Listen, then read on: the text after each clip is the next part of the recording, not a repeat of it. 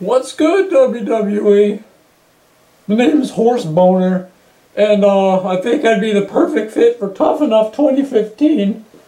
Uh, for one thing, I always have a throbbing boner, so you could say that I'm in the same vein as current wrestlers uh, Bad News Barrett and Randy Orton, who happen to be my two favorites, actually.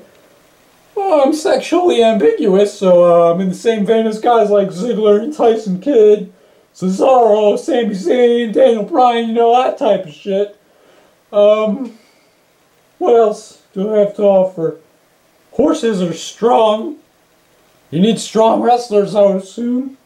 And, uh, well, I have a fucking goddamn horse face, so I'm in the same vein as guys like Natty and the Bella Twins.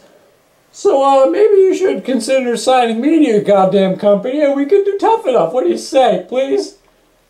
Please? Pretty please?